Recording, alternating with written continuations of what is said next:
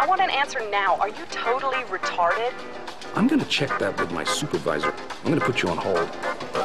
You feel feisty, you whiny little Why don't you hop up on my and see if that fires up your monitor, sweetheart? I'm still here. Gus and Charlie need a new line of work.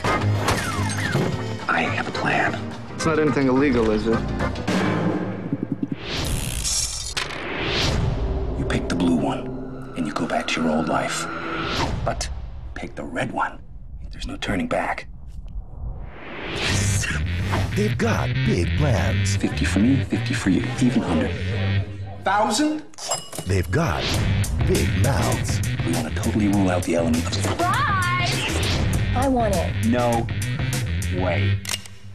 They've got the perfect target. Reverend. Hi, Reverend. Are you familiar with the website teenorgies.com? And it's all about to go off. Big time. I put him in the septic tank. Who? The corpse. He wasn't a corpse when I left him, Charlie. Can't we get him out of the tank? Yeah, how long's he been down there breathing liquid shit?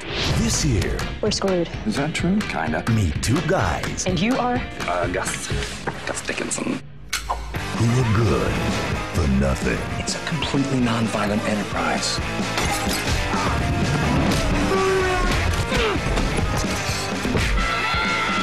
David Schwimmer, Simon Pegg, Is that your entire wardrobe you got in there?